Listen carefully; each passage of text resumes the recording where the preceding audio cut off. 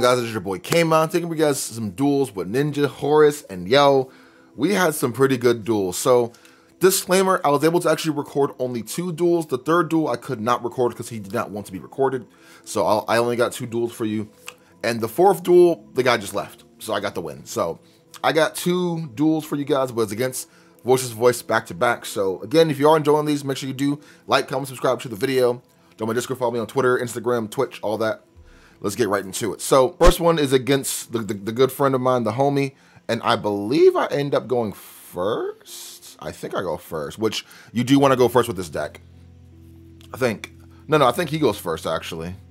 And, uh, oh, I actually did change up the deck a little bit. So I took out Ash completely, and I'm running Ghost Spell, or sorry, Ghost Ogre. Ghost Ogre is a broken card this format. It's so good. And my boy got the freaking blinged out voiceless voice deck, by the way. His thing is, whoo, so nice. So, okay, I, I go first. So I'm going to go with Pot of Prosperity first. I'm like, all right, if he has Droll, it's not a big deal as long as I get something good. So I want to dig something super good. So I do actually end up banishing my my Typhon and all that stuff. Cause I'm like, yo, I'm not gonna go for for Typhon this this match at all. So that's a pretty good target to get rid of. And I go for six. It resolves. So one, two, three, four, five, six. I believe I get the Hanzo here, honestly. Because I think my hand is okay, but I think I'm going to end up getting Hanzo. Because you always want to try to see Hanzo as much as possible. Oh, no, no. Okay. Okay, I remember. Okay, so I do actually end up getting Notebook in case he does have Droll, which he does not have Droll. So I'm like, okay, cool. We're golden. We're golden. So I'm going, oh, no, some Hanzo, Hanzo effect search. Okay, then he Valors it. So I'm like, hmm, okay. And then with that, we do go Tabari effect, summon from hand. We pitch. Then summon from hand here. So he's just reading the card.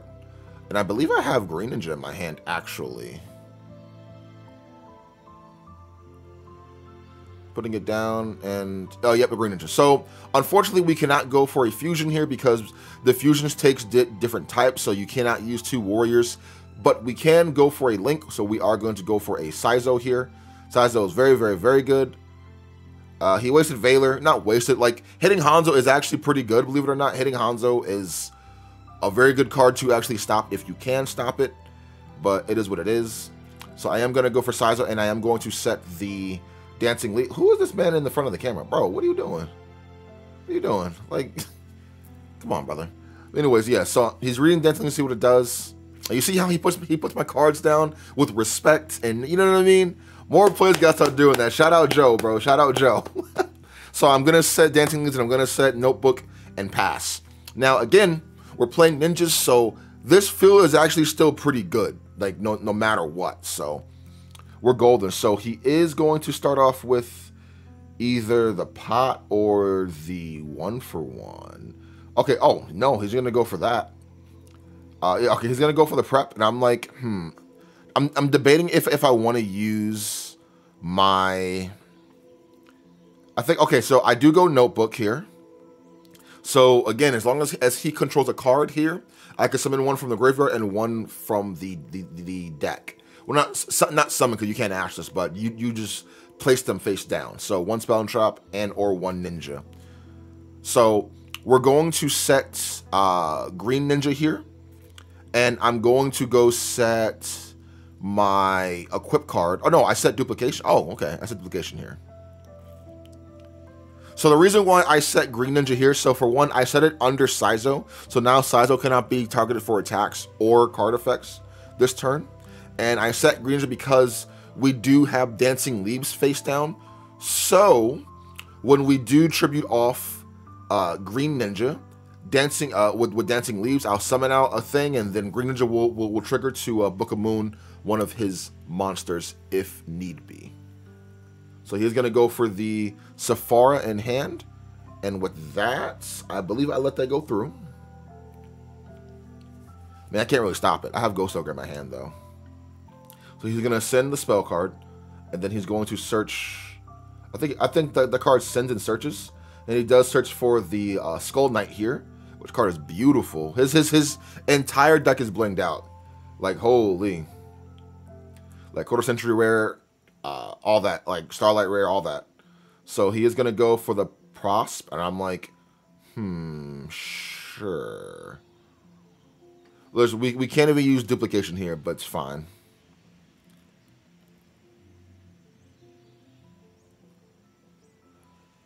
Two, three, four.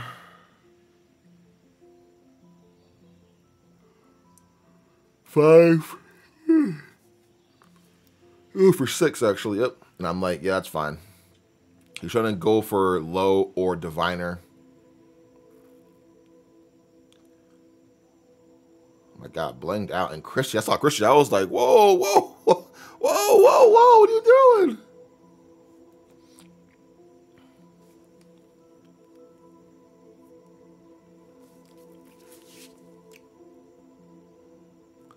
So I think he does actually get the Diviner here. Yeah, he does get Diviner here. Not a bad card to get.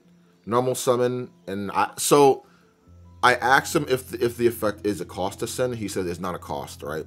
So my my because we we have Ghost Belle in our hand or a uh, Ghost Ogre in our hand, right? Uh, the reason why I was asking if the effect was a cost because uh, I wanted to see what he was going to send first. You know what I mean? And then Ghost Belle it. You know what I mean? Or Ghost Ogre. I'm so used to Ghost Belle, right? The reason why I did I did it this way is because uh, with Diviner, they will usually send that big level eight or nine lady. I forgot. I don't know her name, but they'll her right there. Her. I don't know if y'all saw it, but they'll usually send her, and her effect she'll have to attribute a monster on the field to summon herself back. So that is actually why I did Ghost Ghost Ogre that because I'm like, okay, I know he wants to, to tribute off his Diviner and then get more advantage. So if I just Ghost if if I Ghost Ogre it now, he will not be able to do that. But he did have the one for one in his hand, which is totally fine with me.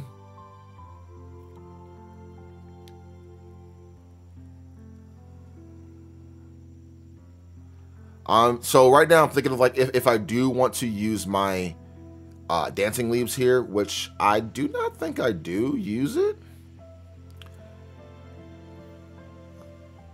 I think I, am not too sure because like I could tribute off my green ninja, and then on summon of low I could book it. So I was in the debate if I wanted to go for Tabari or not, which I probably okay. You know what? I think I do go for. So, okay, I go for Dancing Leaves. I target. Okay, so I target out my Saizo, and I go for Tabari. Okay. This still works here, actually. This is totally fine. And reality, I could have just left Tabari here in defense mode if I really wanted to. So I should have actually just tribute off my Green Ninja to summon out Tabari. Then on res, his low effect will, will trigger because, you know, it's low, he's turned player. Then Green Ninja effect will trigger to uh, book it face down. Then uh, he will summon Skull Knight and then use the effect. On summon of Skull Knight, I would summon, I would use my Tabari effect to uh, to to uh, to fuse here. Actually, no, I should have waited for yeah, okay, so this this is a misplay here. I should have literally just waited for the the Skull Knight to actually uh, come out first after he tributes it, because then he would have to activate the effect to bring it back. Actually, no, I don't think it really mattered.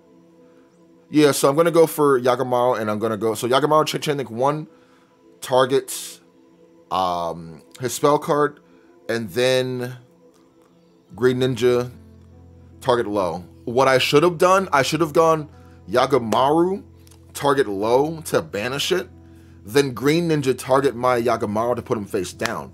So the reason why I didn't do that because I assumed this the spell card protects them from from targeting in general. But you actually do need to have low plus a ritual monster on the field to protect them from, from, from targeting. So at the time, I didn't know that, so I was just like, okay, yeah, I'll just banish that and book that, and we're good to go. So again, if I had just banished low overall, then he would have not been able to summon out Skull Skull Guardian here. Then we would have been in a even better position. You know what I mean? Because again, I I, I thought the uh, card said I just couldn't target them at all because you know. so hey, it is what it is. This guy fixing our camera for me, so shout outs to him, bro. Shout outs to him. So he's reading what the card does. He does do anything. I'm like, it does nothing. Literally nothing.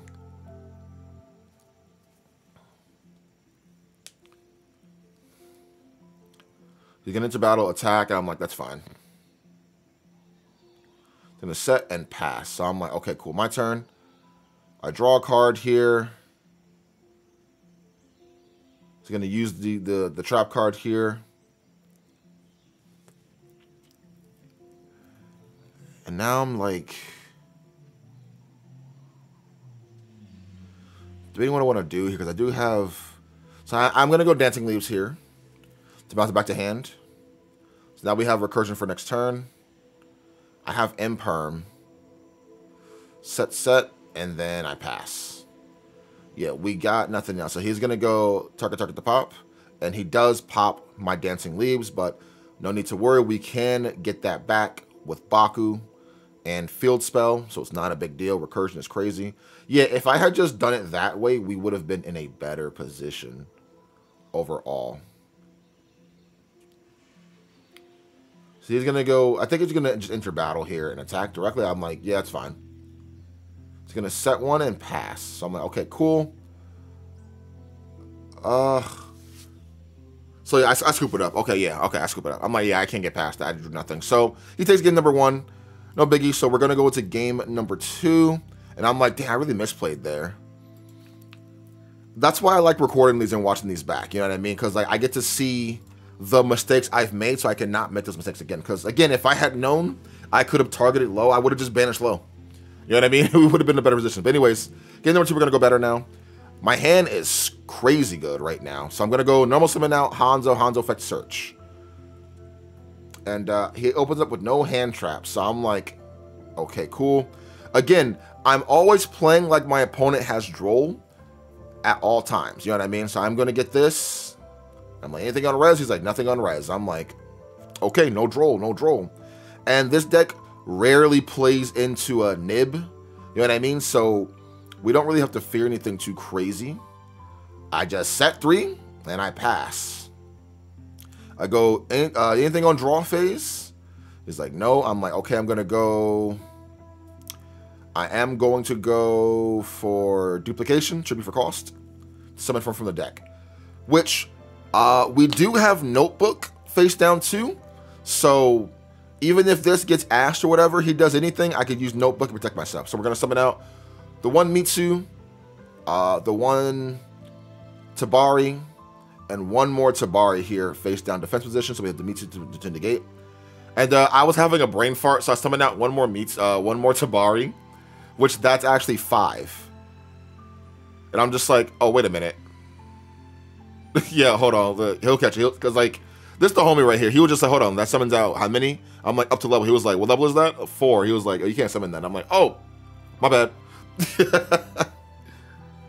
I had a brain. I had a brain fart. It happens, bro. It happens, bro. So again, our field is great right now, bro. Our field is super, super, super, super, super good.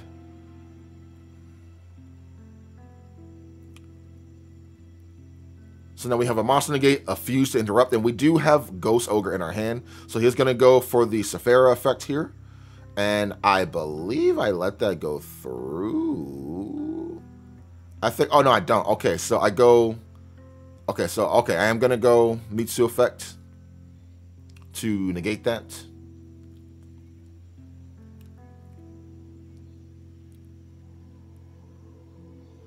And now it's, he's going to go fountain here, or whatever it's called. And he's going to use the effect. And okay, I have, uh, I have uh, Cosmic here.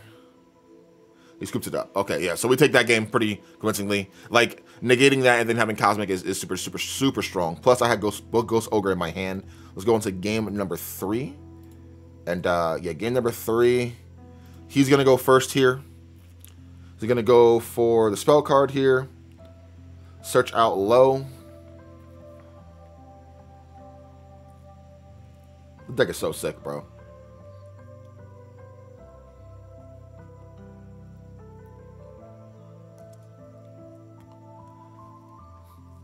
No, I think he's gonna get low here. I know that card searches out like anything in the deck, right? I'm pretty sure, right? I could be wrong.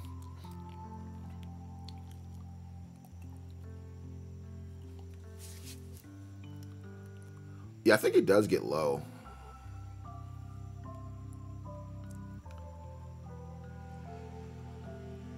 Okay, he does get low.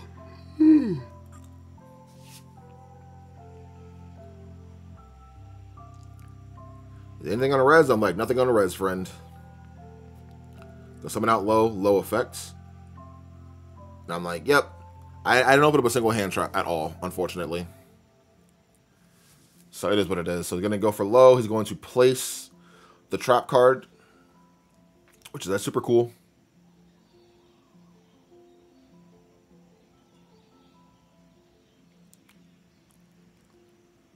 And now he's thinking what he wants to do. He can't really do too much else here, if I'm being honest. He's going to link that away into a Linkuriboh. When I saw that, I was just like, hmm. Yeah, that comes, um, I didn't know that. That's crazy. He does have Droll and Ash in his hand, though. He does have double Cosmic. So I think he does end up just setting... He's thinking if he could do anything else here, which... he There was not much else he could really do here. So he does set both and pass. I'm like, okay, cool. Draw, and bro, I, drew, I, mean, I think I had it in my hand, but I had Lightning Storm. I'm like, yo, I'm to go Spell and Traps. And then he it, it just gets destroyed.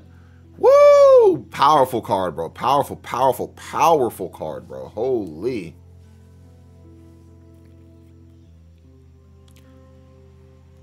he's going to go effect, summon out low. And now everything's to, going to get destroyed here, which is totally fine. I'm like, all right, cool.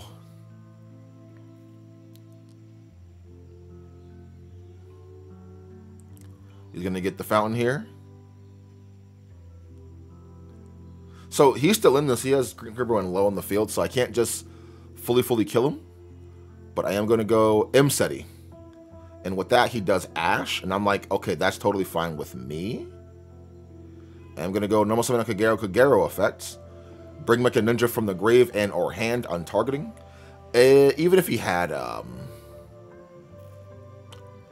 So we're going to bring back Geo from the graveyard, which I did draw Geo, unfortunately. Very unfortunate. See, having the Imsety here was really, really, really, really good, though. Because holy. So I'm going to fusion these two away. And we are going to go for the Mazen Battle Ninja. And we are going to go into battle.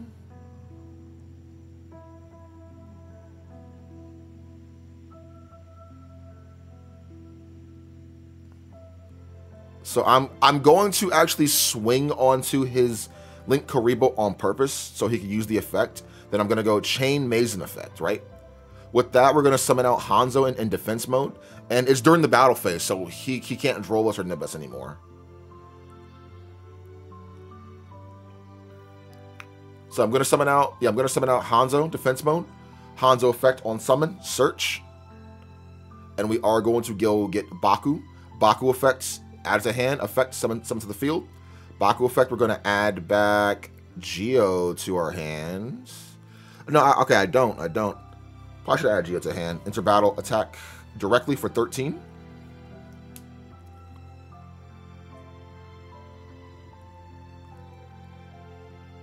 And now this is where I go main phase 2.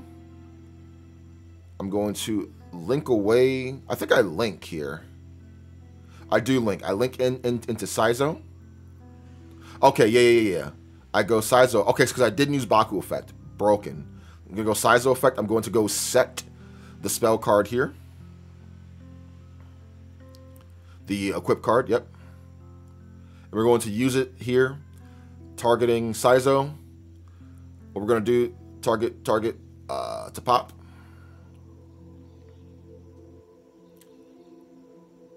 And now we're going to link away or fuse these two away. I either fuse or I link.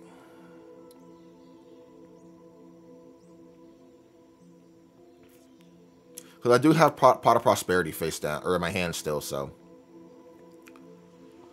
I go to SP. So I go SP, Chain Link 1, Target, and uh, Equip Chain Link 2. Add it back from, from the graveyard to my hand. And then this is where I do go Pot of Prosperity. Three, four, five, six. I'm trying to get the most value I can. One, two, three, four, five, six. And I believe I do end up getting uh, the Cosmic Cyclone here. Yep. Because we have Hanzo in our hand for follow-up plus Cosmic. He has Droll in his hand, so if I were to get something else, he would have just Drolled me after. So I'm going to set and pass. So now, it's not looking good. He draws into a card. I think he draws in, in, into Skull Guardian here. Oh, no, Sauravis. So, yeah, he takes it up, scoop it up. But, yeah, we, we end up taking over Voiceless Voice. Pretty cool duel. But, yeah, that one mistake, I could have just played it differently. But, anyways, hope you guys did enjoy that. Make sure you do like, comment, subscribe to the video. See you guys next time, and Have an awesome one. Peace.